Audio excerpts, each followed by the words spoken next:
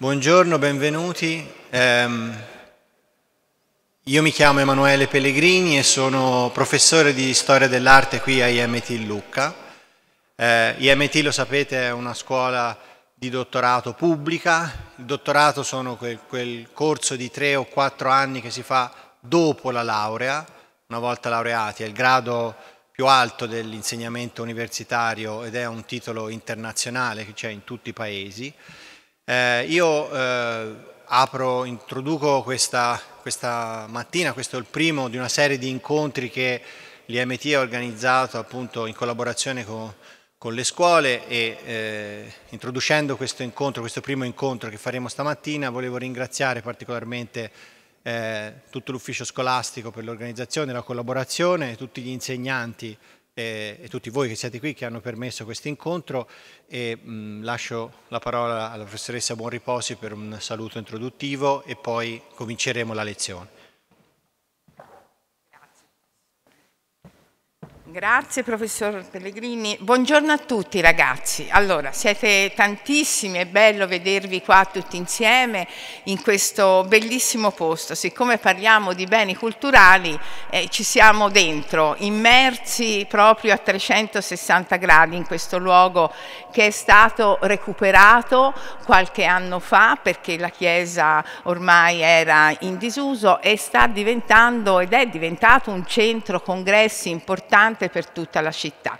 Quindi vedete come beni culturali, tecnologie eh, si, si uniscono. Quindi sarà un argomento per voi importante questo, fondamentale, perché eh, siete già esperti in tecnologie, lo sappiamo, molti sono anche più bravi, più bravi di noi sicuramente, e i beni culturali eh, dovete immaginarli e pensarli non solo come un grande patrimonio che va tutelato e difeso, eh, quindi una difesa dell'ambiente a 360 gradi, ma è anche un importante, come dire, contenitore perché domani voi possiate andare a svolgere le vostre professioni, perché quando parliamo di beni culturali parliamo ovviamente di cultura e di tante professionalità che ruotano intorno a questo settore. Quindi per voi sarà un momento importante, siamo contenti e ringraziamo naturalmente gli MT, che eh, pensate insomma è una scuola di alta formazione, quindi parliamo dopo, siamo dopo l'università, siamo quindi a, a, livelli già elevati e per la città di Lucca è una risorsa importante perché al suo interno ci sono tante competenze, tante professionalità e siamo contenti noi della scuola, diciamo dalla primaria fino alla, alla superiore, che queste potenzialità ci vengano messe a disposizione, quindi avrete modo di ascoltare professori, docenti di alto livello che affronteranno argomenti appunto di fondamentale importanza. Poi bisogna ringraziare, oltre che voi che siete qua questa mattina, anche i vostri insegnanti.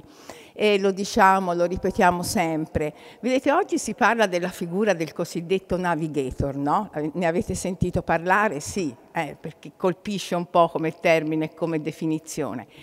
Pensate però che i veri navigator sono i vostri docenti, perché alla fine sono loro che vi orientano, che vi guidano in determinate, in determinate scelte, all'interno della scuola, fuori della scuola e poi anche nel mondo del lavoro, perché tutto l'aspetto legato all'alternanza scuola-lavoro deve essere fatto bene, non va buttato via perché in alcune situazioni non ha funzionato.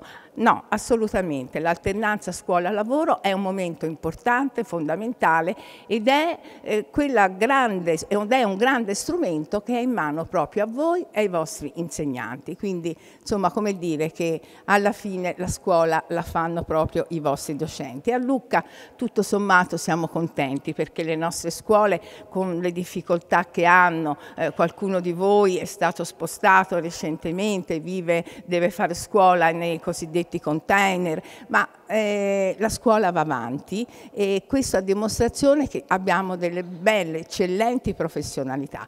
Quindi grazie a tutti i docenti che sono qua questa mattina, speriamo che il lavoro sia proficuo e grazie ancora agli MT. Ringraziamo anche la Fondazione Cassa di Risparmio che ha non solo ristrutturato questo bellissimo luogo restituendolo alla città, ma che insomma ospita spesso e volentieri le nostre scuole per iniziative di questo tipo. Quindi non perdete questa occasione, eh, cercate di seguire, eh, di, di dire, resistere alla tentazione di utilizzare sempre i vostri cellulari perché davvero sono occasioni formative, occasioni importanti da non buttare. Grazie e quindi buon lavoro, buona, buona giornata.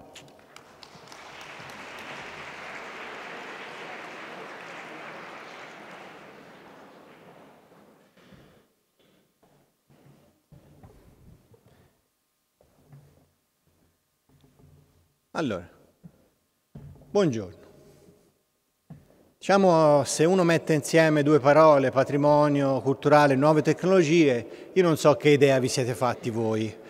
Forse vi aspetterete che vi faccia vedere la ricostruzione del Colosseo, Assassin's Creed, il lavoro che c'è dietro per ricostruire eh, giochi a PlayStation o cose del genere, ricostruzioni mirabolanti di città esistenti, per esempio Venezia. In realtà non farò niente di tutto questo, anzi l'opposto. Prendete questo incontro quasi come uno sgambetto, come se vi facessi uno sgambetto rispetto a quella che, quella che è la credenza comune, l'uso comune delle nuove tecnologie rispetto al patrimonio culturale. Cioè stamattina, stamattina cominceremo a parlare, a riflettere su quelli che sono i problemi delle nuove tecnologie, in primis i cellulari, rispetto a quello che vedete qui in questa chiesa, alle cose, alle cose, marmo, pietre, pittura e quello che invece è tecnologia, video. D'accordo? Allora, cominciamo forse da quella che è una delle opere più famose del mondo. Io ci ho avuto la fortuna, qualche anno fa, sono stato un mese, sono stato invitato per un mese da un'università cinese fatto lezione a questa università cinese, stare un mese in Cina è come stare sulla Luna, è proprio un altro ambiente, un altro alfabeto, altri modi di vita, non c'è la domenica, è proprio tutto diverso. Facevo lezioni, a un certo punto parlavo del David di Michelangelo che tutti voi conoscete, che tutti voi avete visto, magari li avete visti tutti e due, perché uno è in Piazza della Signoria, uno invece è quello vero, quello originale di Michelangelo all'Accademia, una studentessa mi si è avvicinata e mi ha detto, ah, dice professore, eh, dice grazie, dice ho capito il Davide perché dice la prima volta che l'ho visto, ho detto guarda questo, questo signore che è appena uscito dalla doccia. In effetti questa è una persona nuda che tiene una specie, quasi una specie d'asciugamano sulla cosa.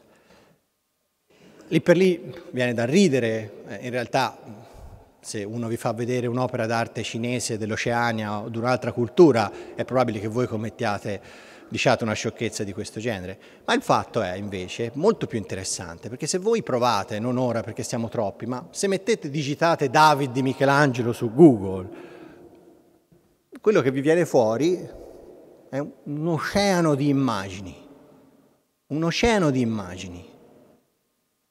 Appunto la tecnologia se voi siete a sedere in questo momento a Tokyo o a Buenos Aires, potete tranquillamente vedere il David di Michelangelo, ma in questo modo qui però. Io vi ho messo, vedete, la freccettina blu, questa è una, una ricerca stupida fatta su Google Immagini. Eh. Cioè, la prima immagine, diciamo dopo quante ne saranno, una quindicina, la prima che che vi può far sorgere qualche problema se ci riflettete, che vedete che è un po' diverso da quello lassù, perché si vede che c'è uno sfondo completamente diverso. Se continuate ancora, c'è un Davide che è all'interno e un Davide che è invece collocato all'esterno. Fino a che non cominciano a venire fuori altri David di altri artisti, Donatello, Bernini,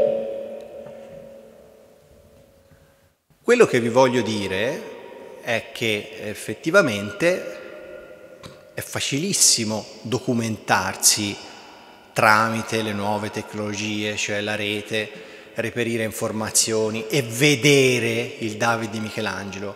Ma quello che è rischioso oggi è che voi avete un milione di David di Michelangelo, tutti diversi, e soprattutto perdete il contatto con l'originale, con il David di Michelangelo, che è un'opera che pesa un paio di tonnellate, che è alta 5 metri, che Michelangelo ha fatto eh, da giovane, 25enne, a Firenze e che si trova dentro la galleria dell'Accademia di Firenze e ha svariate copie nel mondo, tra cui una, quella più famosa, in Piazza della Signoria a Firenze, ma su questo ci torneremo dopo. Questo è un po' il tema generale, perché se fate banalmente un'altra ricerca con un'altra opera famosa, sempre di Michelangelo, Tondo Doni, questo è quello che vi viene fuori facendo la ricerca su internet. Avete tutto, tutto quello di cui avete bisogno a disposizione con un clic, ma non capite però quali sono i rapporti tra tutte queste immagini e fra, qui, fra, queste immagini qui ci potrebbero per esempio essere copie di pittori del Novecento, ci potrebbero essere falsi, ci potrebbero essere riproduzioni fatte su calcina, tutto quello che vi pare, tutto tranne che il tondo dono di Michelangelo. Perché è un problema, possono essere un problema le nuove tecnologie e allo stesso tempo ci possono venire in aiuto. Entriamo nel vivo di questa lezione. Voi capite bene che una situazione media degli uffizi, non so quanti di voi sono stati agli uffizi, eh, insomma, penso la maggioranza, diciamo, io personalmente ci sono stato pochissime volte, sono uno storico dell'arte perché sapete che frequentemente, anche con la prenotazione dei biglietti, questa è una situazione, diciamo, media c'è una lunga attesa e soprattutto quando ci entrate dentro agli uffizi ci sono tantissime persone, quindi non è una situazione come potrebbe essere questa chiesa che vi mettete da soli davanti a Caravaggio e guardate Caravaggio. Ci sono tante persone, ci sono gruppi, eh, c'è rumore, c'è una grande ressa, di conseguenza la nuova tecnologia e numerosi progetti a cui hanno lavorato tante persone con tanti soldi hanno creato questo tipo di strumento, Uffizi Touch, cioè voi seduti comodamente a casa vostra, davanti al vostro computer, potete, come c'è scritto qui, l'intero patrimonio artistico della Galleria degli Uffizi, qua dentro, dentro il vostro cellulare, voi potete avere tutta la Galleria degli Uffizi. E naturalmente si tratta di riproduzioni delle opere, se voi visitate questo sito, effettivamente si gioca sul fatto che entra agli uffizi quando vuoi. Non ci sono problemi di code, non dovete pagare il biglietto, non c'è problemi di ressa, potete fare quello che volete. Volete vedere la Venere di Botticelli, volete vedere Leonardo, volete vedere Caravaggio, volete vedere il Tondo Doni di Michelangelo. Ci avete tutto a portata di clic sul computer. Quindi vedete che si presenta in questo modo. E di questi, questo tipo di strumento ce ne sono, ne stanno fiorendo sempre di più e non soltanto gli uffizi, anche per altri musei, anche perché appunto le nuove tecnologie oggi ci permettono di avere una resa impressionante delle opere d'arte. Le vedete meglio che dal vivo, le vedete più nel dettaglio che dal vivo. Capite quanto è rischiosa questa cosa? Perché se io la vedo meglio sul computer, chiaramente il mio rapporto con l'originale, con quello vero, cambia radicalmente. Ecco perché hanno avuto un sacco di successo mostre di questo tipo qui. Questa è una mostra che è stata fatta recentemente alla fabbrica del vapore di Milano, si chiama Uffizi Virtual Experience. Naturalmente dietro, questi, dietro, questi, dietro queste operazioni culturali ci sono fior di tecnologi che ci hanno lavorato, ci sono tanti soldi che sono stati spesi, banalmente anche per pagare i diritti per la riproduzione delle opere. Osservate bene,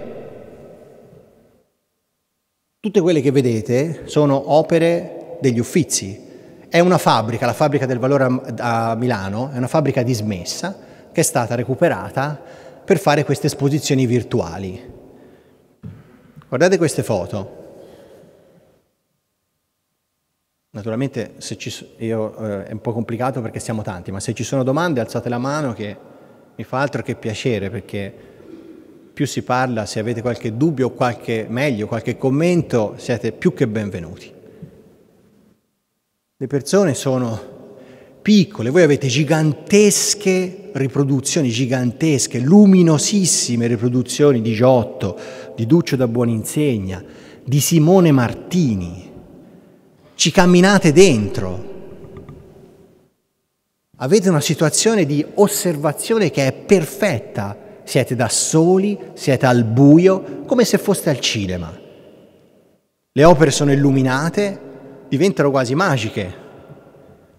È per quello che si chiama virtual experience, perché voi ci camminate dentro, passate dentro Andrea del Castagno, vi sembra quasi di toccarle, sono cose geniali sulle, sui, sui contrafforti, sui, sulle, sulle, colonne sono state proiettate in riproduzione. In realtà eh, le opere di Andrea del Castagno, questa qui è una, però è stata presentata in più modelli. Andrea del Sarto, Parmigianino, insomma tutto questo degli esempi, fino ovviamente, ovviamente a quelli che sono i capolavori indiscussi della Galleria degli Uffizi, la Venere e la Primavera. D'accordo? Ho detto che non è il solo, anzi, se devo essere sincero, questa è una tendenza che va ad aumentare, proprio anche per il successo straordinario di pubblico. Eh, queste virtual experience sono state fatte con Van Gogh, con Caravaggio, poi ve le farò vedere. E allora vedete che ci sono una serie di eh, eh, utilizzo di nuove tecnologie proprio per entrare dentro i capolavori. Questo qui si chiama alta definizione, sono scanner accuratissimi che sono stati applicati alle opere d'arte per guardare nell'occhio, negli occhi, la Venere di Botticelli. Guardare negli occhi la Venere di Botticelli in questo caso, ragazzi, non è una, uno scherzo, è la verità. Perché attraverso uno scanner precisissimo siamo riusciti voi potete, immaginate naturalmente sullo schermo di un cellulare la vedete piccola, ma se avete uno schermo grande oppure se siete capaci ad esempio di utilizzare la televisione, voi riuscite veramente a vedere negli occhi la Venere da Botticelli. È suggestivo, è molto suggestivo, ma purtroppo non c'entra nulla con quello che accade realmente dentro il museo perché è questa la situazione della Galleria degli Uffizi. Ci avete un lucernario che fa venire la luce dall'alto, ci avete una ringhiera che vi tiene lontano dall'opera, ci avete l'opera che non è illuminata, anzi, eh, vi accorgete che è fatta sul legno, eh, sapete che come si facevano colori, si facevano col, con le uova, la tempora era fatta a uovo, si usava la colla con la pelle di coniglio, tutti materiali concreti.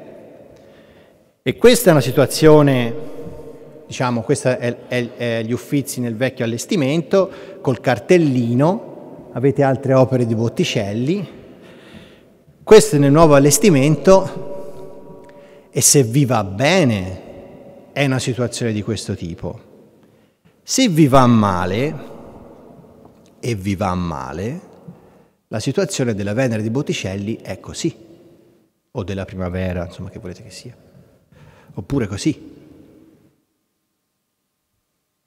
Tra l'altro ho portato anche questo genio che ha fatto una foto alla foto del quadro. Noi abbiamo avuto una ragazza del Kazakistan noi sapete che abbiamo studenti da tutto il mondo, no? li selezioniamo da tutto il mondo, abbiamo avuto domande da tutto il mondo, abbiamo avuto una studentessa del Kazakistan che è stata selezionata per eh, beni culturali, che parlando eh, mi ha detto, dice io professore ci sono stata agli uffizi, dice, ho avuto un senso di grandissima delusione, di noia, perché ovviamente lei aveva eh, visto gli uffizi attraverso gli uffizi touch, questo discovery, questa virtual experience, lei aveva visto dettagli di Leonardo da Vinci grossi così, quando si è trovata di fronte a Leonardo da Vinci, che tutto il quadro era grosso così, ovviamente ci è rimasta male. Questo che io voglio dirvi ora è che naturalmente pensate un po' alla, alle straordinarie osservazioni che si possono fare anche da parte degli specialisti. Quando vi trovate di fronte a un dettaglio così, cioè potete vedere veramente il pennello di Botticelli, potete veramente vedere Botticelli o magari qualche, chi l'ha ritoccato, l'ha ripassato, però quando vi trovate di fronte all'opera vera, eh, purtroppo eh, non si vede così. E magari non era nemmeno fatto per essere visto così. Ma dov'era la Venere di Botticelli, la primavera?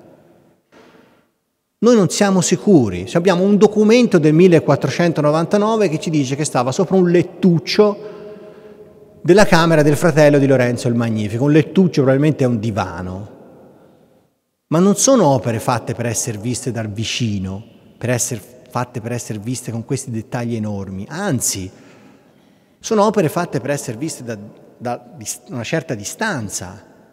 Gli originali, perché è complicato?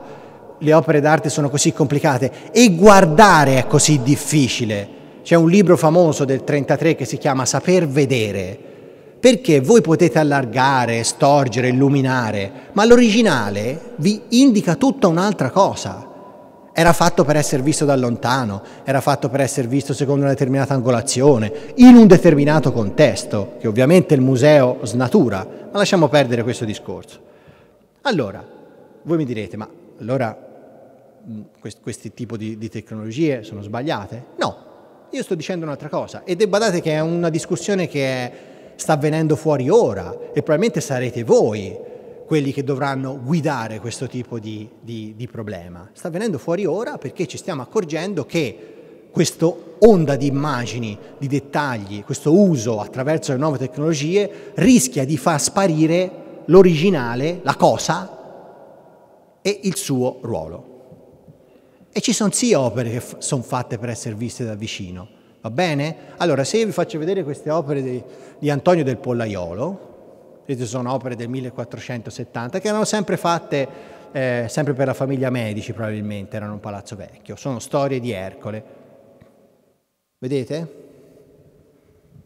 Come ve le immaginate? Non so se qualcuno l'ha vista, ma uno se le, le vede così, beh, se le immagina enormi. Infatti, sono così. Questa è una foto importante, che vedete qui questo signore qui che si chiama Rodolfo Siviero, lo chiamo questo signore qua, chiamano il detective delle arti. Queste due opere erano state trafugate dai nazisti nel 1943 e sono state recuperate nel 1963 a Pasadena, negli Stati Uniti. Erano finite in una collezione tedesca e attraverso una serie di giri diplomatici eh, lo Stato italiano è riuscito a recuperarle, ma soltanto nel 1963 e oggi sono agli Uffizi. Questa foto è anche significativa perché vi vedete immediatamente come sono queste opere. Sono piccole così.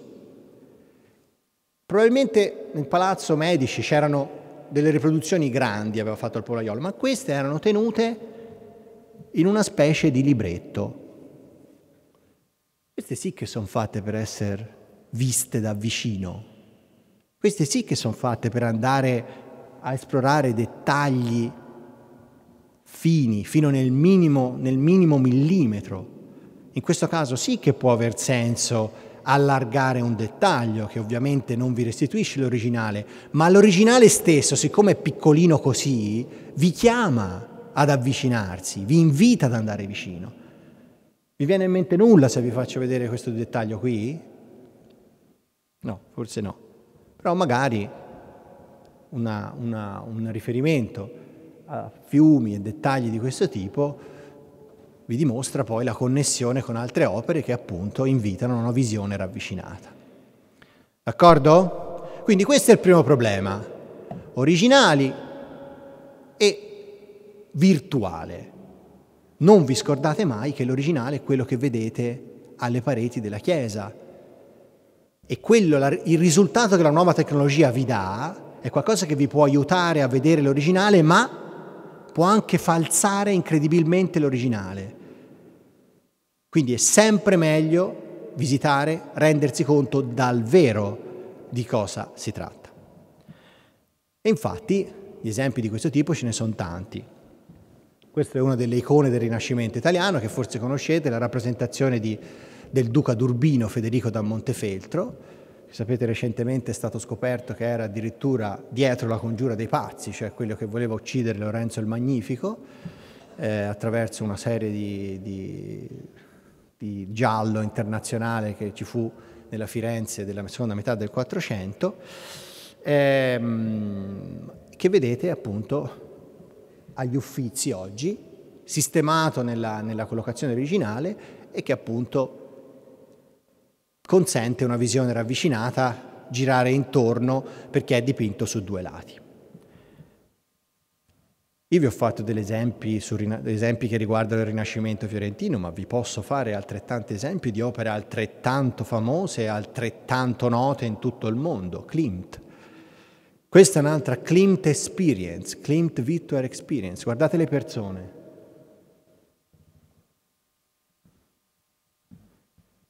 Ma voi immaginatevi essere davanti a un Klimt grosso come questa chiesa, illuminato,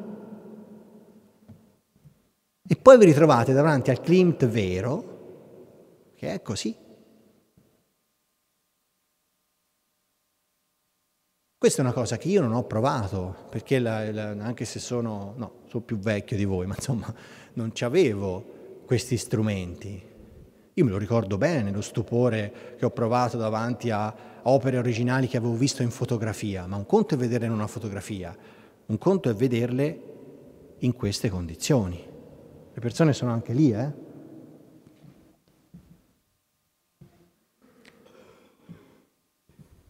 Ci avete domande? Io non so se, anche, se, se volete o commenti, eh?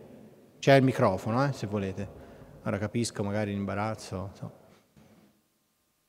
Comunque, tranquilli, tanto è, è, mi immagino. Va bene. Naturalmente c'è qualcuno che ha usato bene questo tipo di strumentazione, questo tipo di eh, capacità delle nuove tecnologie, di trasformare un'opera, anche se celebre, ma piccola come questa, in una grande esperienza. Dopo gli Uffizi Experience, Klimt Experience, Van Gogh Experience, ovviamente non poteva mancare la Caravaggio Experience. Queste sono le citroniere, cioè il luogo dove venivano tenuti i limoni alla Venaria Reale, che era una villa nei dintorni di Torino della Corte Savoia, oggi è un famoso centro eh, per il restauro e l'arte contemporanea. Questa è una mostra del 2017. Addirittura qui l'opera di Caravaggio, che è la conversione di San Paolo, ce l'avete addirittura sul pavimento, cioè ci camminate dentro. Camminate dentro l'opera di Caravaggio, perché c'è il cavallo, e poi in terra ci avete dei dettagli. L'opera in questione è questa ed è appunto la conversione di San Paolo che oggi è conservata nella chiesa di Santa Maria del Popolo a Roma, qui. Allora, se chiudete la porta di questa cappella, voi siete nel 1601 parte qualche, c'è una tomba che è posteriore, ma questa cappella conserva integralmente il patrimonio culturale del, del momento stesso in cui è stata eseguita. È rimasta intatta. Sono 400 e passa anni che questa cappella è così. Addirittura c'è un grido, cioè una, una, specie di lancio come oggi su, si trova sul bollettino della Nazione del Tirreno che si vede tutte le mattine quando si passa, di Roma del 1601 che dice guardate la cappella di Tiberio Cerasi, cioè questo signore che era il committente, cioè quello che aveva pagato per avere i quadri, è in via di completamento, ci sono dei quadri stupendi di Caravaggio, che sono questi, dalle parti, uno e due, e di Annibale Carracci. Annibale Carracci, poverino, oggi è molto meno noto. In realtà nel 1601 dire di mettere insieme in una cappella Caravaggio e Carracci è come dire oggi di mettere insieme Damien Hirst e, non lo so, eh, Kentridge o so, Picasso e Matisse, cioè i massimi artisti possibili e immaginabili in quel momento. Allora, io vi faccio riflettere su una cosa. Guardate bene, a proposito di vedere, voi entrate nella cappella, questo è a sinistra, il movimento della croce di Caravaggio vi manda verso la Madonna, fate questo movimento qui con l'occhio e riuscite col corpo di San Paolo sdraiato in terra. È una cosa che potete agevolmente fare oggi entrando dentro Santa Maria del Popolo, che fra l'altro è quasi sempre aperta e ci sono poche persone. Naturalmente non è soltanto le pareti laterali, gli allievi, cioè gli scolari, gli allievi di Annibale Carracci avevano affrescato anche tutto il soffitto, tuttora intatto, ci avevano fatto gli stucchi, praticamente voi avete uno scrigno del 1601. Se volete girare un film, ripeto, ambientato nel 1601, lo potete fare qui dentro senza spostare una virgola. In questo caso eh, appunto proprio guardando le opere di Caravaggio, che se ve le faccio vedere così ovviamente sono totalmente decontestualizzate, non capite. Nella Caravaggio Experience è stata fatta un'esperienza più intelligente, completamente diversa. Vedete che hanno ricreato le cappelle, proprio perché è sbagliato è sbagliato farvi camminare dentro un Caravaggio, perché voi dentro Caravaggio non ci camminate. E Caravaggio non ha pensato il quadro per camminarci dentro, l'ha pensato per stare in un altare, a colloquio con l'opera davanti, a colloquio con l'opera del suo nemico, amico, rivale Annibale Carracci.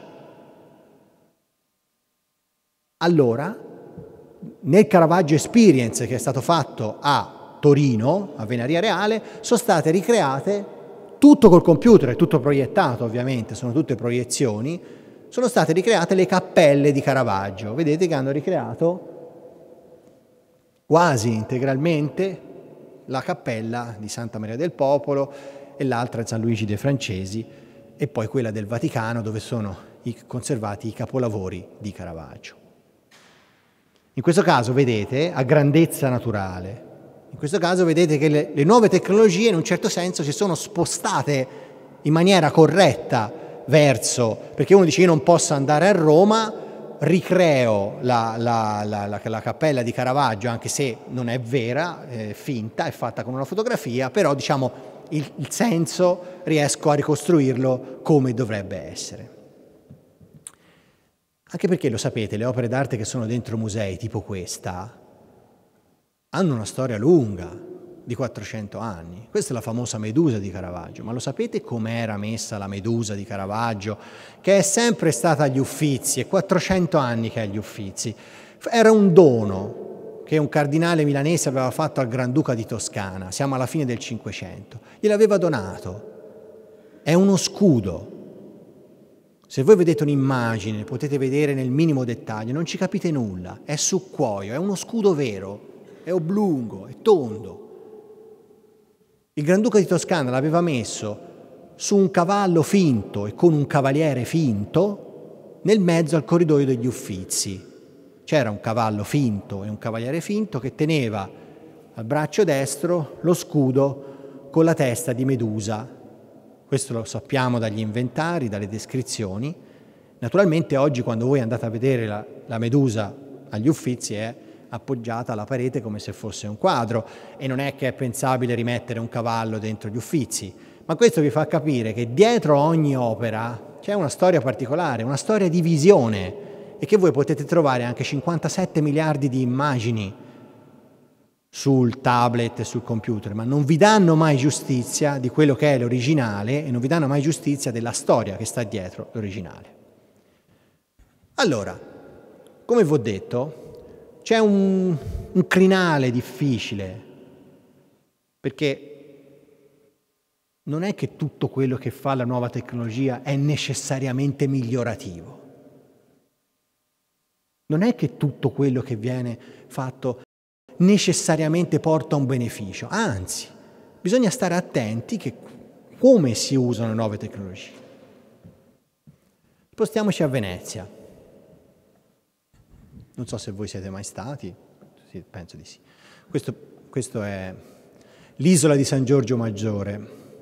Eh, se andate a Venezia dovete prendere il traghetto per andare sull'isola. È un posto, diciamo, eh, uno dei posti più calmanti, quasi da, da yoga che, nel, che si conserva fra tanto patrimonio culturale italiano. È un bellissimo convento eh, che era stato costruito, siamo alla metà del Cinquecento, da uno dei massimi artisti, del, architetti del Cinquecento italiano, Andrea Palladio. Palladio costruisce questo bellissimo convento, poi lo chiamano a, a, a costruire la facciata della chiesa che vedete eh, oggi. E questo convento, come tanti conventi italiani, tipo questo, ha subito una sorte, naturalmente i frati non ci sono più, sono andati via, è rimasto vuoto ed è stato trasformato da uno degli architetti di grido italiani emergenti oggi, che si chiama Michele De Lucchi, nel 2005, un lavoro di cinque anni, dal 2005 al 2010, è stato trasformato in una delle biblioteche di storia dell'arte più importanti d'Italia, che è la, la, la, la biblioteca Scini, e ci ha poi sistemato anche la Fondazione Scini, che è un centro di cultura, su quest'isola davanti a Venezia. D'accordo? In quest'isola è successo una delle cose, è successa una delle cose più straordinarie per quello che riguarda il patrimonio culturale, le nuove tecnologie degli ultimi anni. Ora cercherò di raccontarvela nel dettaglio, perché è una storia che ha eh, naturalmente suscitato tantissimi dibattiti e che porterà, tuttora può farci dibattere.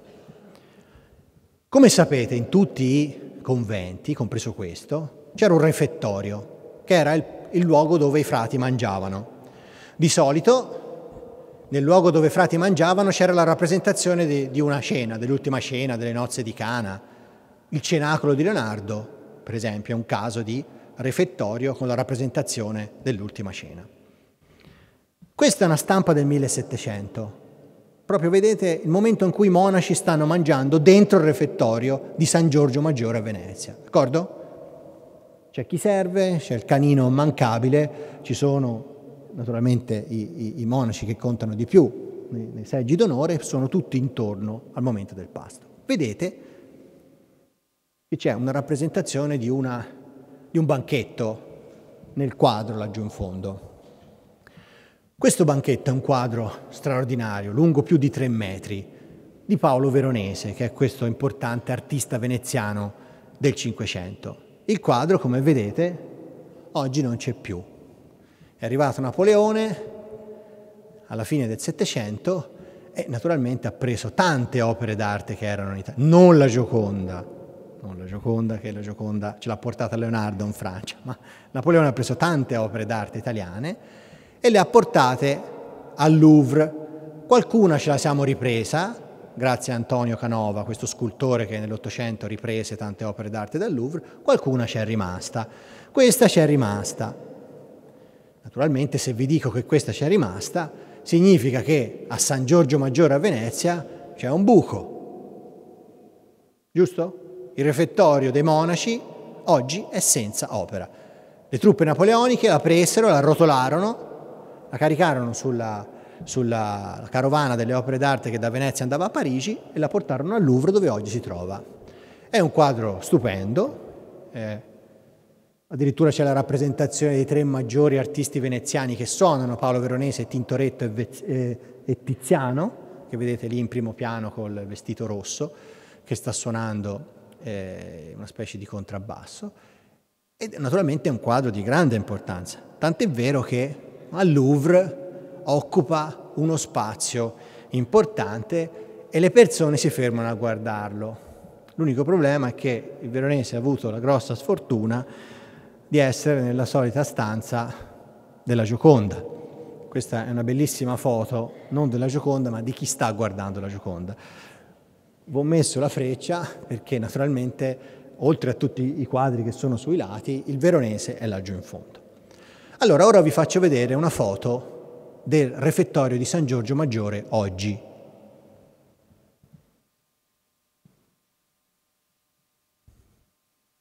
Ce lo siamo ripreso?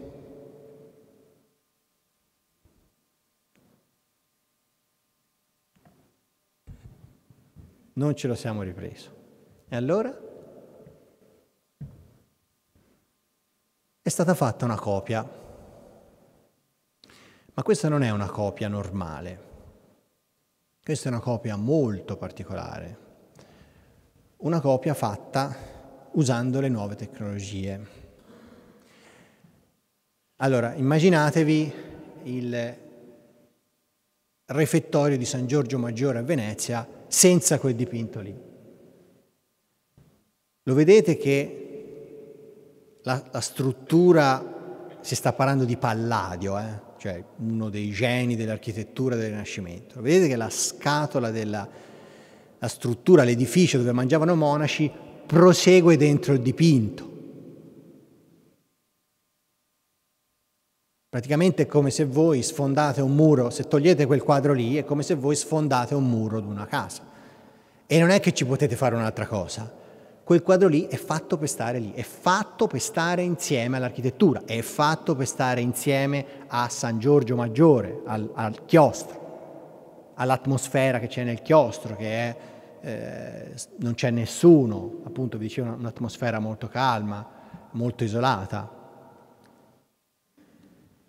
Quando hanno cominciato a rifare la biblioteca di San Giorgio Maggiore, a restaurare il chiostro, hanno deciso di rifare anche la copia del veronese nel 2007, solo che non hanno detto, perché una copia magari uno può fare, può chiamare, che, che fate? Chiamate un pittore, fate una fotografia digitale gigantesca. È stata fatta un'operazione scientifica molto più sottile. Hanno chiamato questo signore qui, che è un inglese, che si chiama Adam Lowe, eh, che fra l'altro verrà anche qua in IMT eh, in primavera, lo vedete che queste foto sono significative? Perché non è che è un signore che è seduto con un laboratorio con mille computer, no, questo sembra un imbianchino. E in effetti questo è il suo studio. A Barcellona, eh? la sua ditta si chiama Factum Arte, è famosa in tutto il mondo, ora ci lavorano centinaia di persone proprio per il lavoro che svolge informatici, storici dell'arte, esperti della visione, ehm, poi comunicazione, eccetera, eccetera. Appunto, lui, è, lui è inglese, lo studia a Barcellona ma ha, ha sedi in varie parti del mondo, ha realizzato diverse copie di opere d'arte, i due grandi, i due grandi cavalieri di Nimrud, Ninive, che si trovano al British Museum, vedete lassù il cenacolo di Leonardo. Factum Arte, appunto, questo, potete andare sul sito, lo trovate, c'è la spiegazione, dice che è una ditta che lavora con, utilizzando le nuove tecnologie per cercare di riprodurre gli originali. E che ha fatto eh, rispetto al veronese?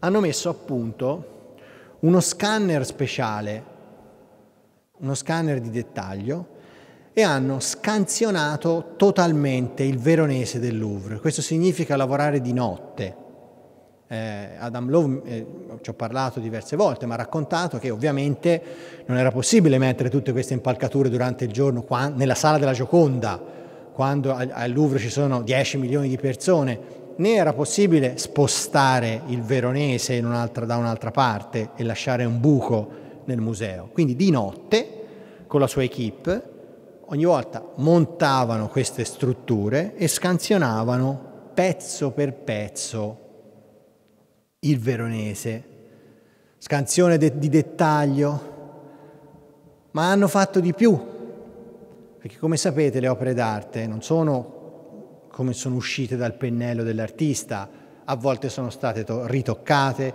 a volte sono state restaurate, se sono strappate sono state ricucite, sono state reinventate, quindi loro hanno anche ricercato di ricostruire, cioè togliere quelli che erano i restauri ottocenteschi, eh, sta sporcizia, le puliture e hanno fatto un lavoro meticoloso di ricostruzione, utilizzando colori, pennelli, tempere, un mix praticamente di lavoro artigianale e lavoro di nuove tecnologie, che è un po' il futuro, un po' in sostanza quello che sto cercando di dirvi stamani. Sofisticatissime tecnologie e lavoro di mano. Tant'è vero che poi alla fine hanno rimontato, ma sono naturalmente, cioè, chiariamoci, sono cose da milioni di euro, eh? queste sono operazioni da milioni di euro. Ci vuole un mecenate, ci vuole qualcuno che finanzi, ci vuole qualcuno che sostenga, ci vogliono anni di lavoro. Alla fine, rimontato, e si può tornare all'inizio, il nostro veronese è qui. E che è successo?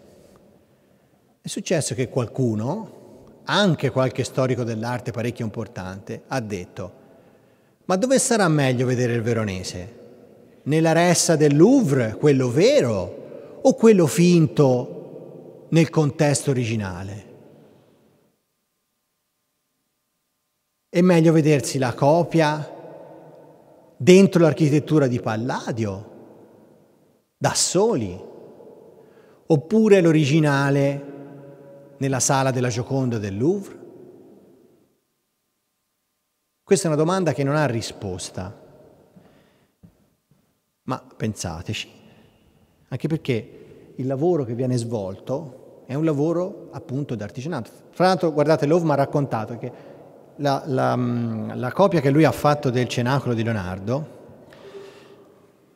queste sono alcune immagini del lavoro, la copia che lui ha fatto del Cenacolo di Leonardo è stata fatta perché non avevano dato, forse l'avrete sentito, il permesso a Peter Greenway, che è questo famoso regista, di fare un film dentro il Cenacolo di Leonardo. Allora, siccome il film doveva essere realizzato, hanno chiesto ad Adam Love di fare la copia del Cenacolo di Leonardo, così Greenway poteva fare il film. La copia del Cenacolo di Leonardo di Love è talme- diventata talmente famosa che è stata mandata in giro in esposizione, come se fosse un'opera originale.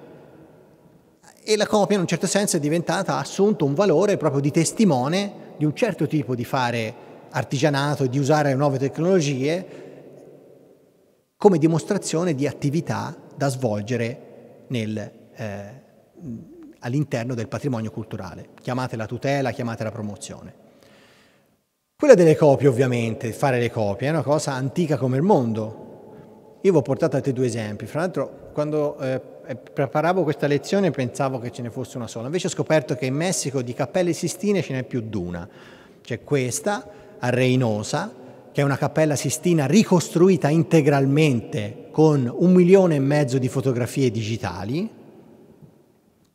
che sono state prese di notte nell'originale della cappella sistina.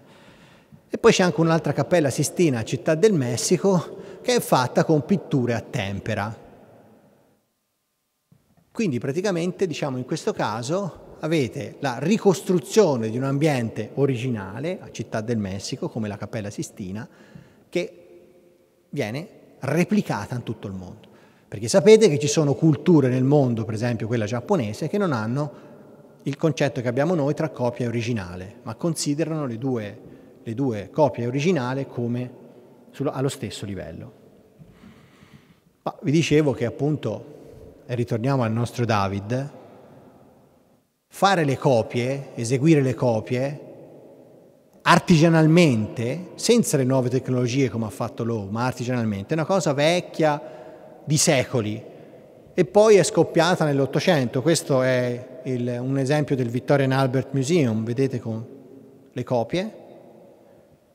Questa è la situazione sono foto, sono foto di settembre, avete tutte le copie fatte a mano da artigiani raffinatissimi con calchi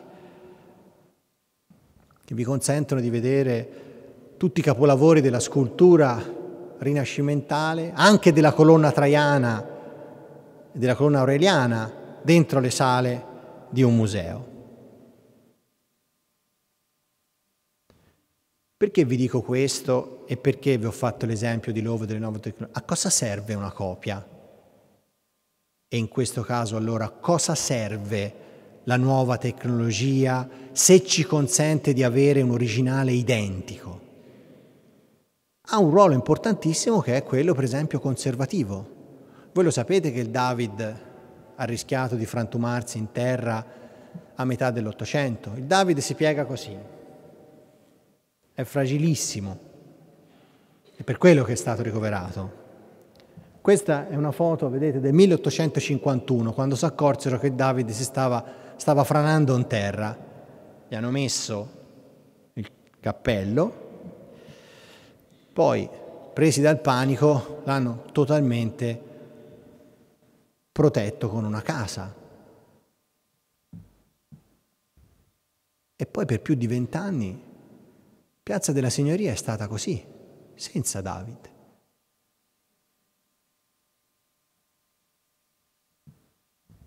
La copia è arrivata nel 1910. Ma se voi mettete David su Google, queste cose non ce l'avete. E soprattutto ci avete il David vero e il David finto, tra virgolette, al solito livello. Ci avete Van Gogh veri, Gioconde vere e Gioconde finte. Questa è la copia che è stata fatta appunto nel 1910 e che oggi è tuttora di fronte al Palazzo Vecchio perché ovviamente non poteva rimanere così Piazza della Signoria, dato che il Davide è un simbolo che venne portato appunto dentro la galleria dell'Accademia dove si trova tutt'oggi. Allora, vi faccio un ultimo esempio e così poi mi avvio anche alla conclusione e magari alla discussione se volete eh, farla. Questo è uno dei contesti, sempre per restare al nostro 400, più rinomati, più, più, più importanti, proprio per come si è conservato del 400 italiano. È il Palazzo Ducale di Urbino, che è del signore che abbiamo visto prima, di Federico da Montefeltro oggi è diventato il Museo Nazionale delle Marche e infatti è anche perfettamente conservato, diciamo all'interno è perfettamente conservato, non so se siete mai stati, andateci anche se è più difficile perché a Urbino eh, andarci con i mezzi pubblici è abbastanza difficile. All'interno di questo palazzo c'è un particolare, un ambiente che è straordinario e che è totalmente conservato e che è lo studiolo, quello che si chiama lo studiolo di Federico da Montefeltro.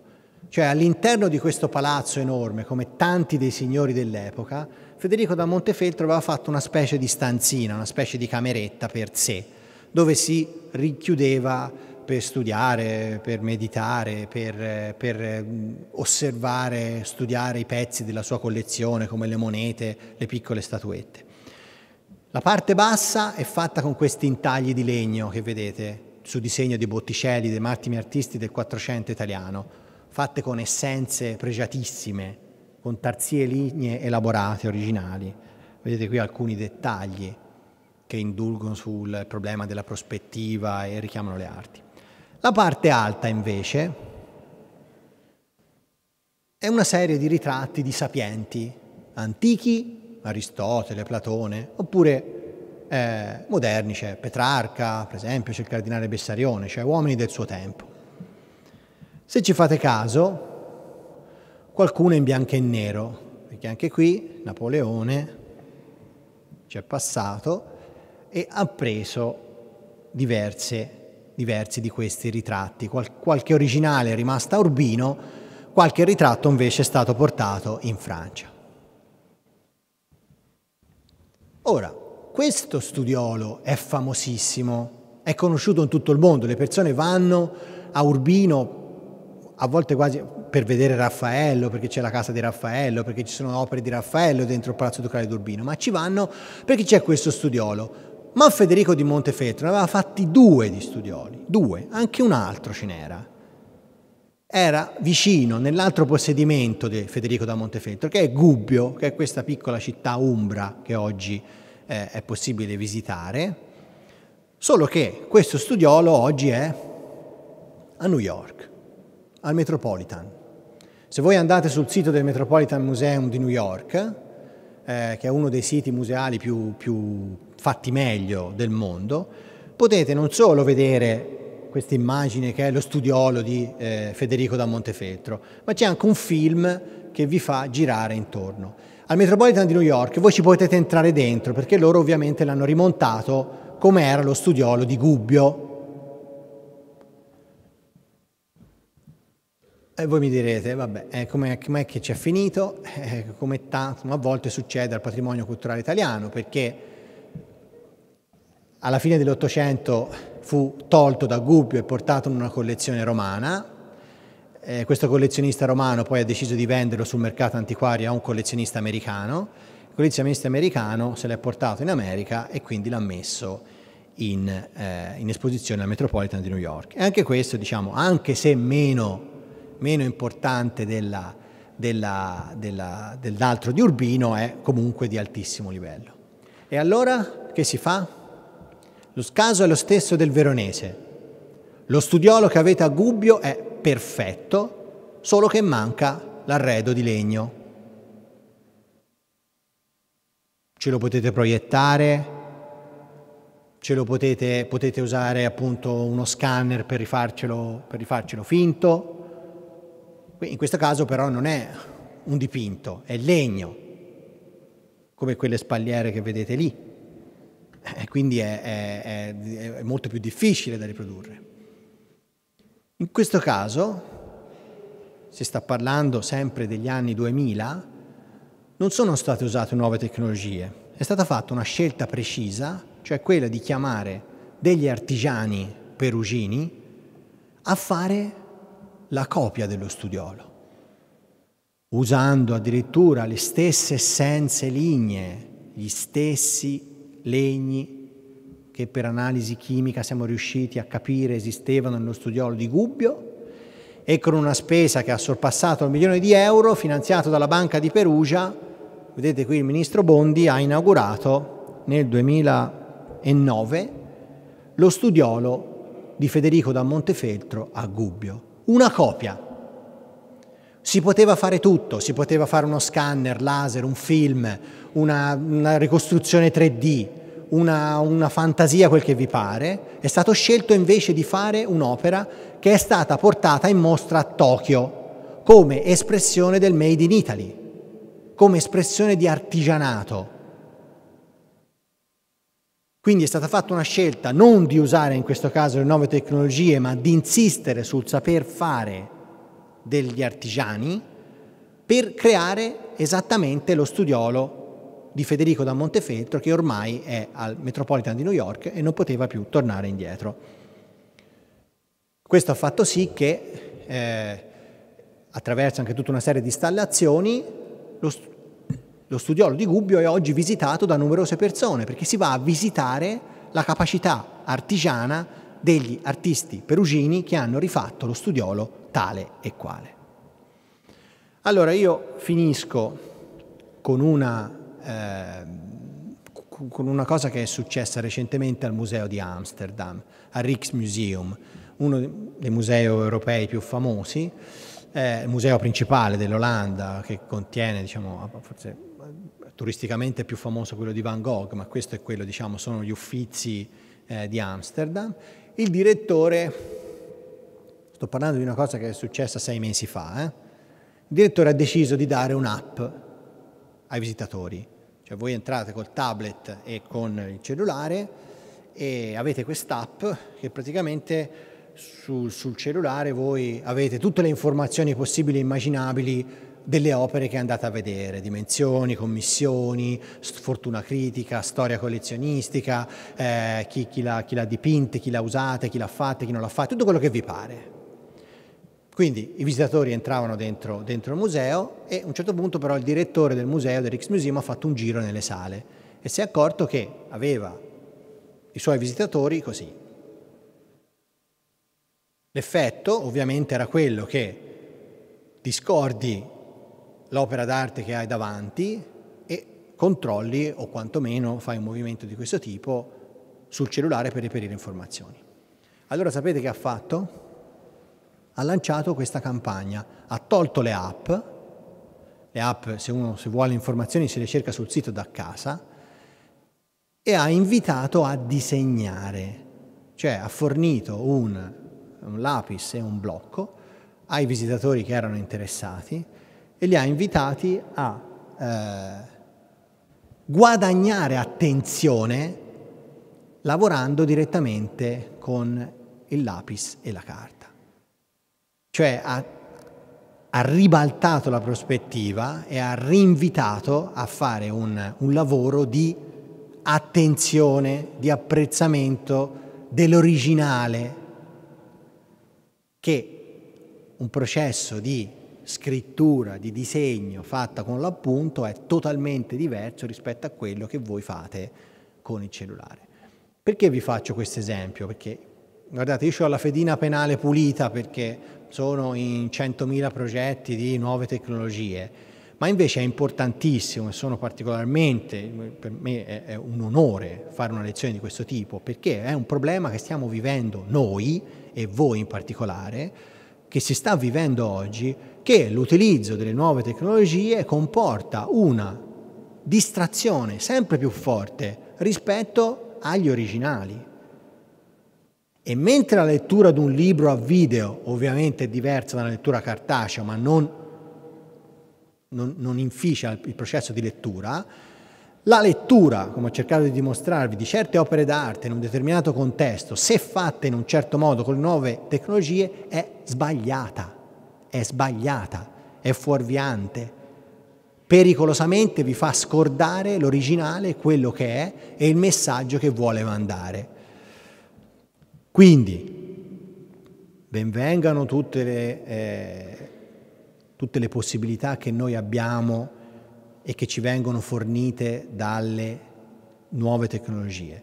Però siamo oggi nel 2019 di fronte a un bivio chiarissimo dobbiamo cominciare a governare le nuove tecnologie, le possibilità offerte dalle nuove tecnologie senza che queste mangino gli originali e il nostro modo di vivere con gli originali, perché altrimenti rischiamo che tutto questo patrimonio che noi siamo chiamati a conservare, ma soprattutto che siamo chiamati a capire, rimanga inespresso, venga frainteso e non venga diciamo così, adeguatamente conservato e mandato alle generazioni successive.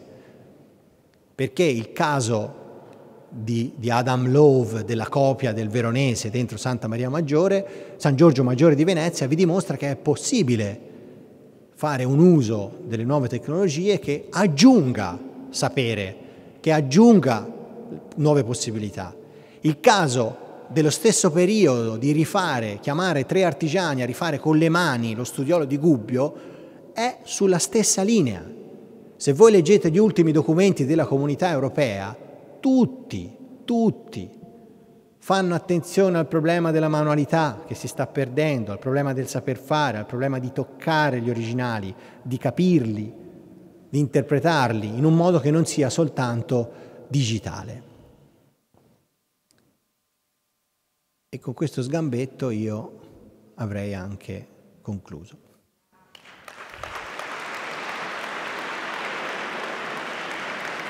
Grazie.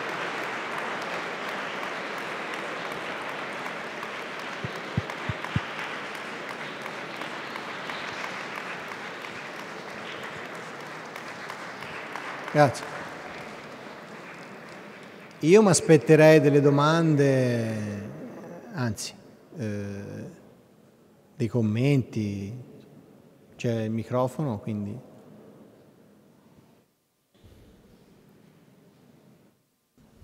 Eh, lo so, è difficile, ma insomma, pensate che se fate le domande non tornate in classe, cioè perché sono le 11.20.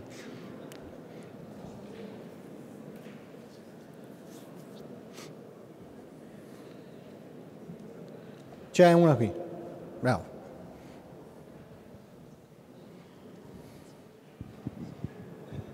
Le, lei ha detto che il minimo particolare eh, cambia completamente la visione del, dell'originale. In, in, in, quale, in, quale, modo? Cioè il, il, motivo? Questa è una bellissima domanda, avete sentito? Com- come mai l'originale cambia, il, la visione del dettaglio cambia l'originale? Questa è una, bellissima domanda e la risposta è che l'occhio della Venere del Botticelli non è grosso così. Botticelli, se voleva fare un occhio grosso così, lo faceva. Quando voi vi trovate davanti alla Venere del Botticelli, l'occhio è piccolo e non lo potete vedere da vicino. Quindi lo cambia perché mentre voi vedete questo grande dettaglio, quando vi trovate di fronte all'originale, cercate quel dettaglio che non lo potrete mai vedere così non lo potrete mai vedere così, non solo perché non vi fanno avvicinare, ma poi perché l'occhio rimane piccolo. Nella fattispecie questa ragazza del Kazakistan che vi dicevo prima era rimasta impressionata perché aveva visto nell'annunciazione di Leonardo dei dettagli delle, delle piante. Effettivamente sono importanti e per gli studiosi sono importanti, ma quando è arrivata davanti, a parte il fatto che non si poteva avvicinare, le piantine erano piccole, quindi la domanda è giusta perché il dettaglio è sovradimensionato, sovraesposto. È una visione che l'artista non ha mai pensato, anzi, molto spesso gli artisti pensano la dimensione delle immagini perché tipo l'opera è pensata a un altare. Gli altari che vedete, gli artisti non è che li facevano a caso, si facevano dare le dimensioni, le misure, misuravano il fatto che ci fossero le candele davanti, la luce, la distanza di chi pregava, e con, conseguentemente è suggestivo vederle da vicino, ma non è quella la visione che viene chiamata, è per quello che la falsa, cioè la rende diversa da una fruizione che poi è quella vera, perché la Venere del Botticelli, vi ho detto, abbiamo questo documento che ci dice che era fatta per stare sopra il lettuccio, cioè sopra il divano, fate conto una spalliera di questo tipo, quindi qua sopra, nessuno la vedeva da vicino e l'occhio rimane piccolino. L'occhio della Venere di Botticelli è così. Non so se ho risposto, poi naturalmente le cose si complicano, ma insomma è questo come lo, il discorso per Caravaggio. Naturalmente lo potete vedere un originale ingrandito, a chi studia serve per vedere la pennellata, serve per vedere se c'è un restauro, ma non è mai quello che vedete quando voi andate agli uffizi e poi provate. Provate, avete visto le immagini che vi ho fatto vedere degli uffizi experience? Le opere sono illuminate, fanno luce. Ma cioè, avete mai visto un quadro che fa luce? Al buio, voi siete al buio, in un museo non sarete mai al buio, i quadri non sono fatti per essere visti al buio, anzi, avevano delle illuminazioni particolari. È per quello che la visione dal vero è completamente diversa e prima non si poteva avere dei dettagli così grandi, era impossibile, soltanto con le tecnologie oggi è possibile. Ce n'è un altro laggiù?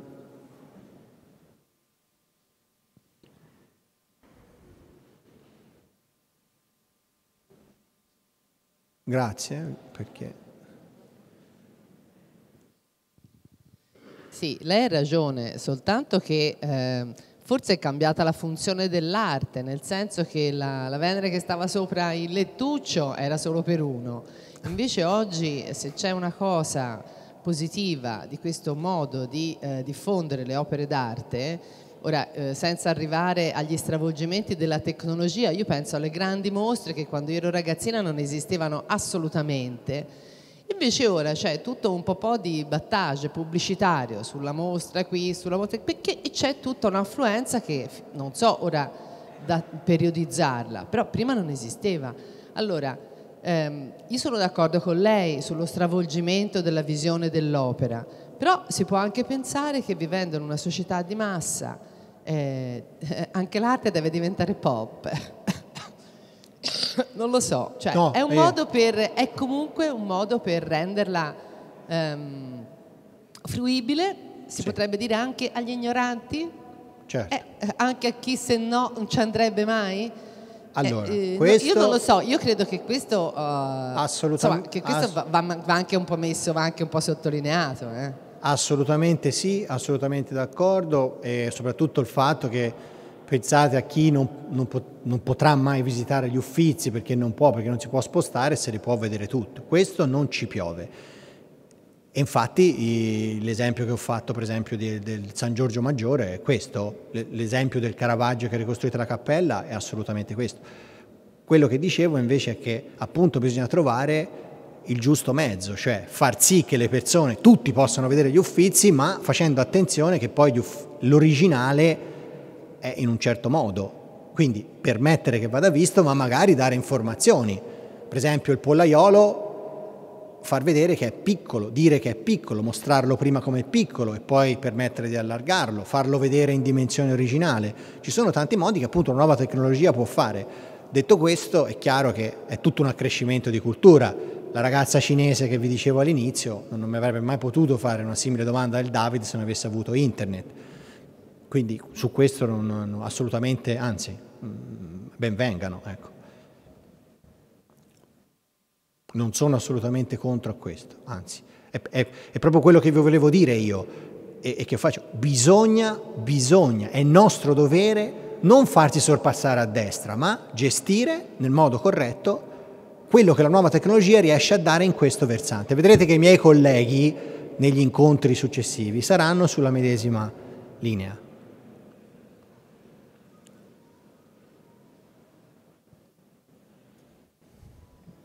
Bravi, grazie. Fatemi uno sgambetto. No sgambetti, eh, domande. Io ho una domanda più semplice. Lei ha esposto molti problemi rispetto alle nuove tecnologie, ma c'è una soluzione o delle ipotesi? eh, eh, eh, anche, no, non è, non è affatto una domanda semplice, anche questa è una bellissima domanda. Ehm, non, non, non, esiste una soluzione, perché giustamente come diceva eh, l'insegnante prima, eh, la società è cambiata e cambia il nostro modo di vedere le opere d'arte, non esiste una soluzione, esistono dei modi, dei modi per gestire e venire incontro a certi bisogni. Vi posso dire che eh, un certo modo di usare le tecnologie è sbagliato rispetto al modo scientifico di considerare un'opera d'arte. Quindi è dovere di chi lavora in questo ambito di prevenire certe, fa, fa, certe, certe diciamo, falsi. Allo stesso tempo non è che c'è una soluzione. Io vi ribadisco che, eh, per, per questo ringrazio per questa domanda, perché ribadisco che i milioni di euro che sono stati spesi per uno scanner sofisticatissimo a fare il veronese sono i milioni di euro che sono stati spesi per tre ebanisti di Perugia. In un caso hanno fatto lavorare tre artigiani e attenzione, hanno mandato lo studolio a Tokyo, a Tokyo come espressione del Made in Italy. È un'operazione commerciale.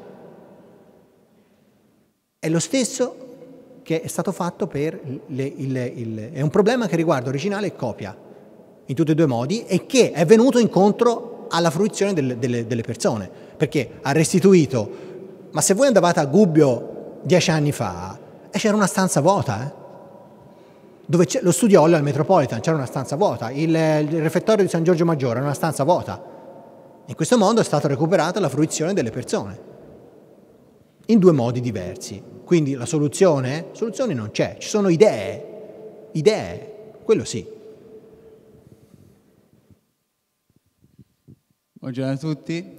Eh, allora, mi hanno fatto notare eh, una domanda che secondo me ha senso, cioè che senso ha andare in un museo a vedere opere che magari sono state decontestualizzate da... Um, dal luogo originario, quindi per esempio un'opera che è stata fatta per stare in chiesa, quando poi in realtà me la metto in un museo, questa ha senso andarla a vedere? Ah, grazie, sì. Vi bene. Allora, questa è la domanda delle cento pistole. Il David è stato portato in un museo perché se no cascava in terra. Le opere non è che vengono portate nel museo così a fantasia, le opere vengono portate nel museo perché eh, a volte è necessario. Voi considerate che recentemente è stato musealizzato mezzo patrimonio esterno di Firenze, voi ora gli originali delle porte del Battistero, che sono tra i capolavori assoluti dell'arte dell'Occidente, sono dentro il museo dell'opera del Duomo, non sono più, le porte del Battistero sono copie, il Marco Aurelio a Roma, ma perché si rovinavano all'aperto. Quindi le opere vengono portate nei musei non per una scelta. Naturalmente la domanda è giusta perché chiaramente portandole nel museo vengono decontestualizzate. Però a volte oggi si va nei musei anche soltanto per vedere il museo. Eh? Questo è il famoso Louvre di Abu Dhabi, che è aperto l'anno scorso. Un museo nato vuoto, solo il museo. Naturalmente poi ci hanno messo le opere, ma dopo. Quindi se la, la domanda ha senso, ha un senso diverso. E naturalmente conferma quello che dicevo io. Naturalmente in un museo lo vedete in maniera completamente diversa rispetto che a un contesto originale. Questo è fuori dubbio. In questo senso le nuove tecnologie possono aiutare a ricostruire il contesto originale. In questo senso l'archeologia ha fatto passi da gigante perché ci sono tante ambientazioni che vengono ricostruite che vi danno l'idea di come era eh, un certo ambiente a livello spaziale e questo è un, un, grosso, un grosso acquisto delle scienze moderne. Sembra ce n'era una là, no? Altre? Ho visto un'altra mano? No.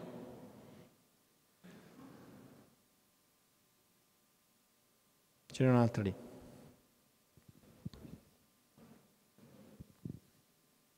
Ok. Bravi.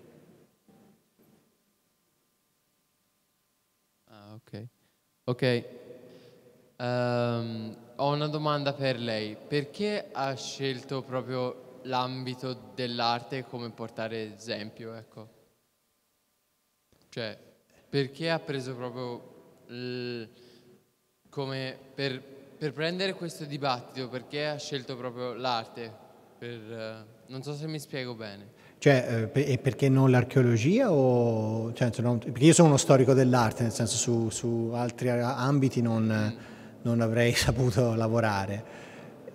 La, cioè, la, la, domanda è, nel senso, la, per, diciamo, è il senso di questa lezione, perché l'arte è stata scelta perché l'originale è qualcosa che nel mondo del patrimonio culturale è ineludibile, cioè l'originale è l'originale, è uno e ha una sua, una sua struttura che oggi viene moltiplicata in centinaia di milioni di immagini, ma ha una sua eh, unicità, è un'opera sola. Quindi per, per questo mi è servito per mostrare che quello che succede rispetto al, a un certo tipo di uso delle nuove tecnologie, a un certo tipo di uso delle immagini.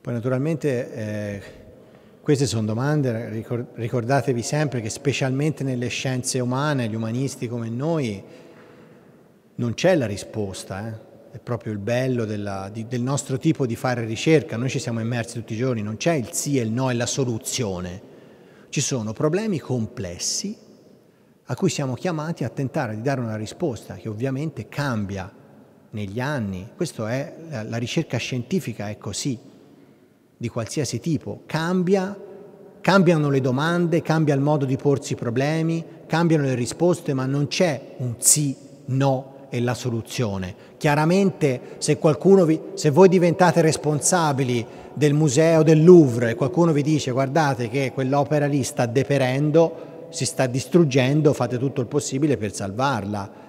Ma poi per il resto sono scelte di, appunto di politica culturale.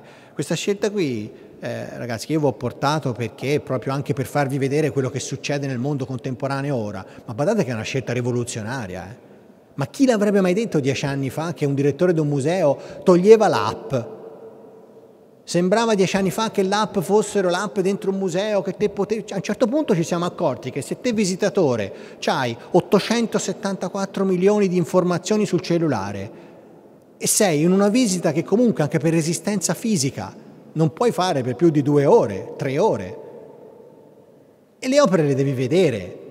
Anche il dialogo tra spostamento dello sguardo tra lo schermo, lettura delle informazioni sullo schermo, visione dell'originale, eh, la, la, carovana dei giapponesi che vi passa, eh, le guide che vi chiudono, e sono problemi veri. Chi l'avrebbe mai detto che un direttore di uno dei musei più importanti del mondo avrebbe messo un lapis e un taccuino in mano ai visitatori invece che un tablet? Non è che è una rivoluzione al contrario, è un modo per interrogarsi sui problemi della visita dei... Questo il Rijksmuseum, non so, farà tipo un milione di visitatori l'anno. Eh. È quello dove ci trovate Rembrandt, ci trovate Vermeer, ci trovate Franz Hals, ci trovate i massimi artisti dell'Olanda mm, olandesi.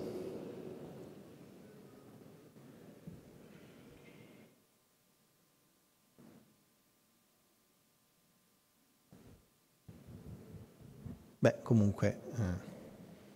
Il mio obiettivo era quello di farvi riflettere su questi temi, poi ognuno di voi, eh, secondo me, poi deve pensarci per conto proprio. Andate pure a vedere questi, questi siti, così vi rendete conto di come sono, di come sono fatti, di come, di come, lavorano. Poi magari andate a vedere gli originali e, e vedete quello che succede. Altre domande? Sono belle domande queste, eh? quelle che sembrano più semplici sono più difficili, c'è una soluzione o no? No, non c'è una soluzione, c'è un problema, un problema che ha tante soluzioni possibili.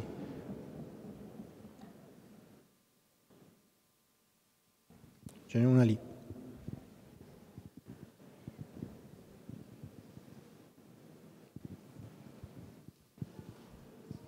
Direttore, ho una domanda per lei. Allora.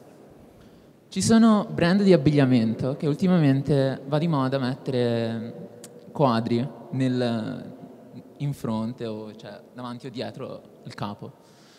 Secondo lei è giusto o è una, una mancanza di rispetto e non si dovrebbe fare cose del genere? Grazie. Allora, a settembre, no, quando era? Ottobre? ho, ho, ho cenato con la direttrice della galleria dell'Accademia di Firenze che mi ha detto che un giorno passava in bicicletta e ha visto il David con le scarpe da ginnastica, cioè quindi il David, David con le scarpe da ginnastica, quindi in un brand che aveva usato. Naturalmente finora nessuno aveva mai fatto nulla. Lei per la prima volta si è mossa con una sentenza del Consiglio di Stato che gli ha dato ragione e questa ditta di, in questo caso era una ditta di scarpe, ha dovuto pagare tipo 40.000 euro come diritti per uso dell'immagine del David. Io non credo che sia giusto o sbagliato. Naturalmente penso che ci siano degli usi sconvenienti, ma questo non, dipende poi forse anche dal gusto delle persone. Non credo assolutamente che sia sbagliato, anzi credo che sia un modo pop e giusto di usare anche capolavori dell'arte. Credo che però si debbano pagare i diritti, come se io devo pagare i diritti per usare l'immagine di Cristiano Ronaldo, penso che debba usare, pagare i diritti per usare l'immagine del David.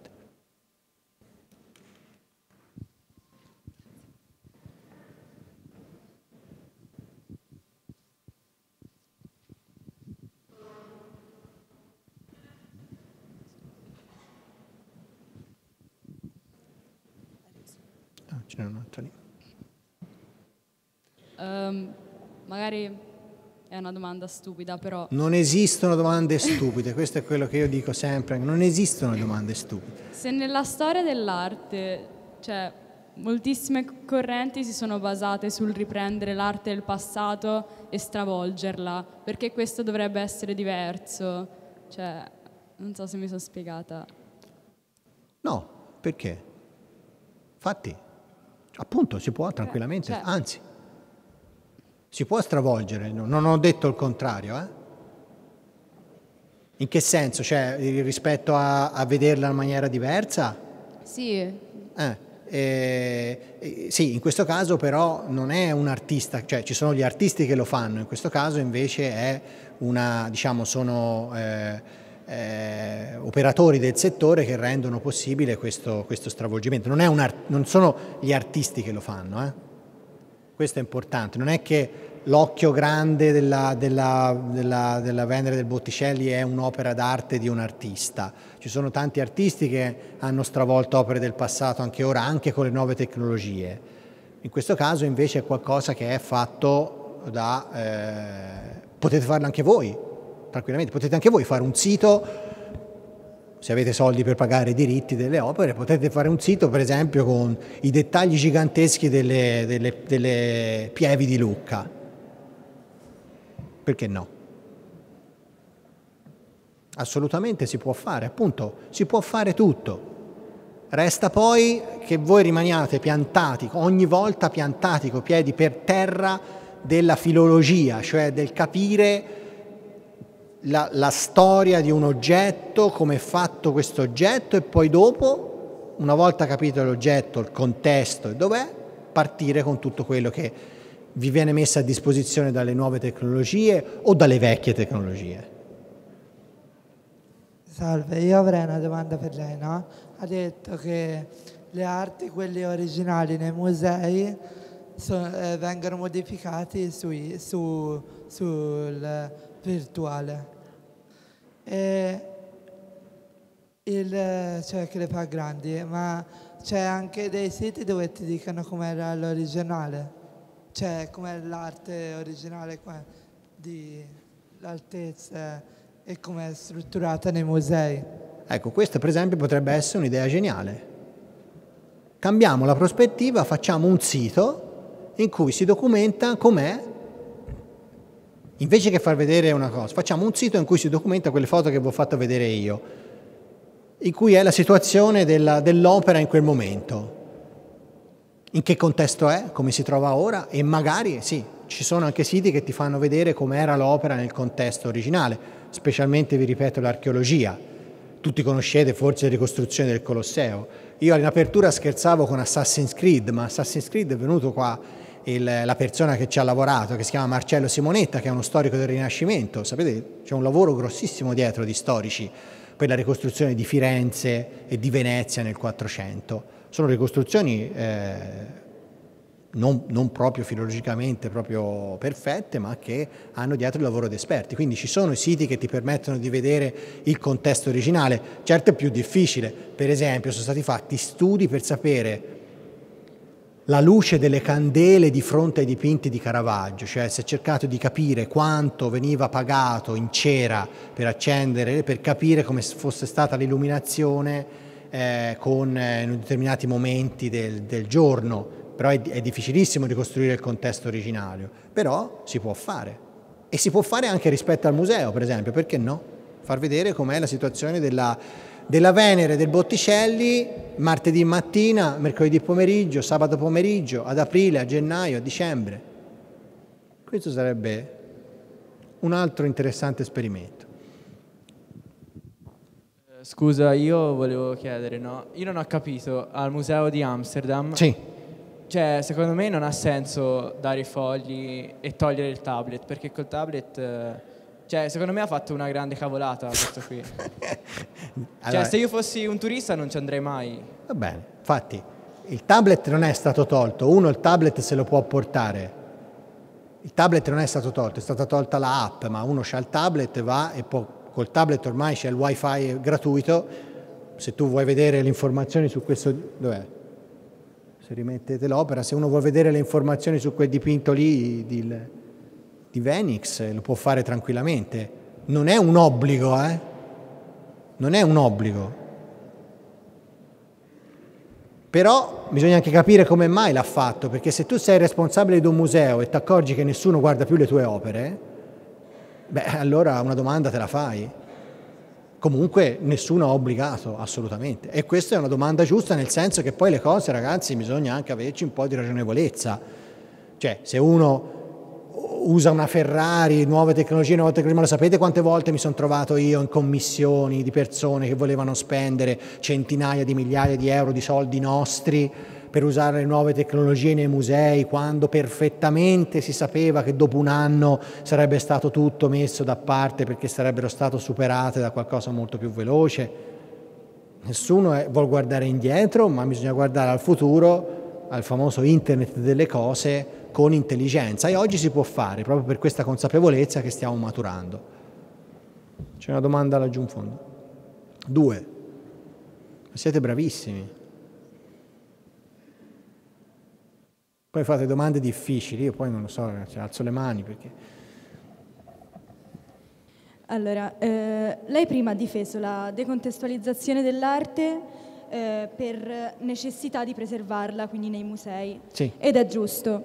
Ma perché invece contestare la stessa decontestualizzazione per un'altra necessità che è quella di appunto raggiungere tutti e non rendere l'arte elitaria?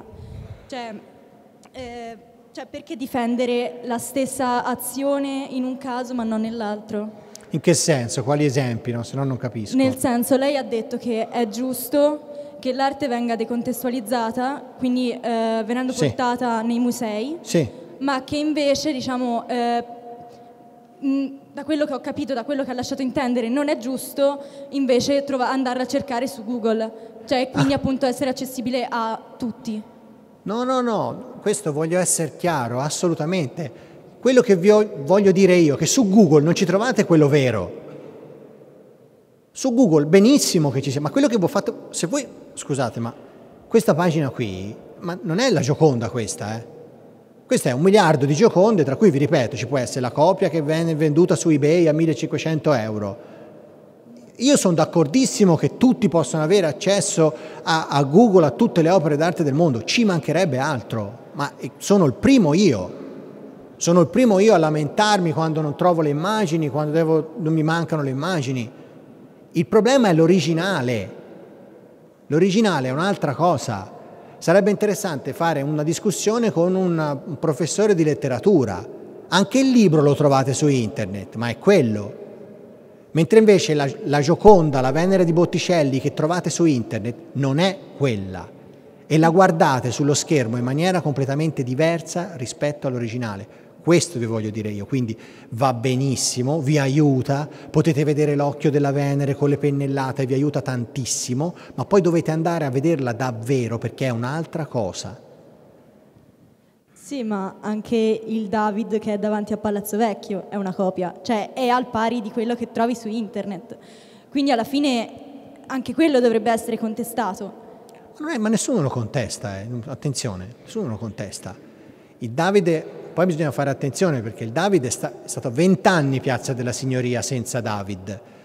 C'è stato rimesso perché mancava un elemento dell'arredo architettonico della, della piazza. Nessuno lo contesta. Quelle che eh, il, il battistero di Firenze ora, le porte, sono copie. Il Marco Aurelio che c'è a Roma sono copie. L'originale è stato portato dentro il museo, nessuno lo contesta, solo che una copia è un conto, un'immagine è un'altra. Non, non è una contestazione di valore, assolutamente. È il rapporto tra immagine e opera vera che sta cambiando.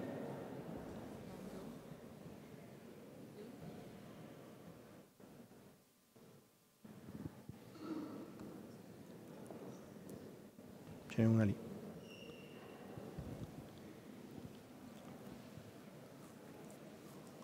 Io, forse da quello che ho capito, non capisco perché noi dobbiamo andare a parlare delle nuove tecnologie come magari anche Maligna in questo campo, mentre quando il problema, forse il problema principale è l'utenza che va a sostituire l'arte con queste nuove tecnologie. Il problema per me in sé per sé non è la nuova tecnologia che magari mette su un social, su un sito, un'immagine, ma tutte quelle persone che preferiscono guardare quell'immagine piuttosto che un dipinto o una scultura dal vivo.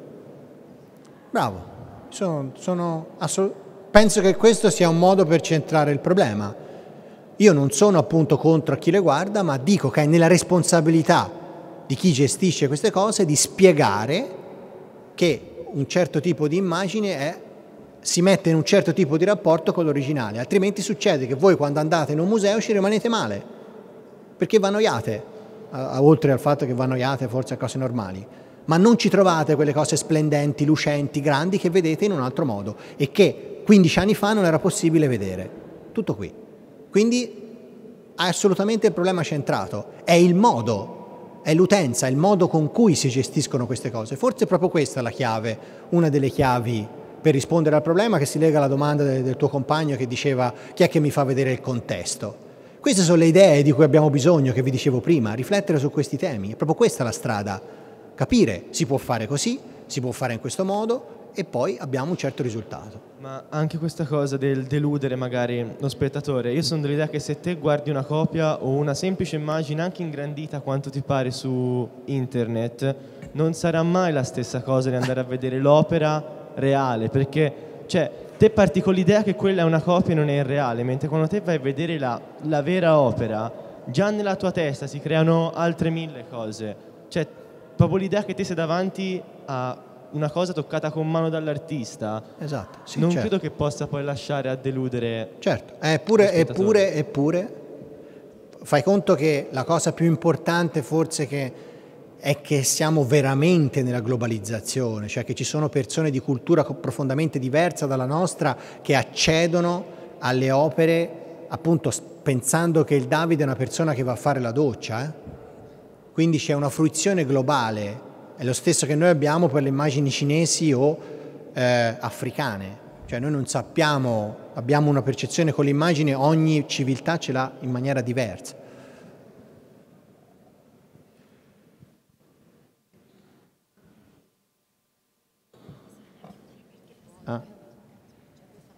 Ah, ah, sì, vabbè, allora l'ultima domanda perché poi bisogna concludere, vi ringrazio tantissimo. C'era l'ultima domanda? No, va bene. Allora ho detto che bisogna chiudere. Vi ringrazio tanto, siete stati bravissimi.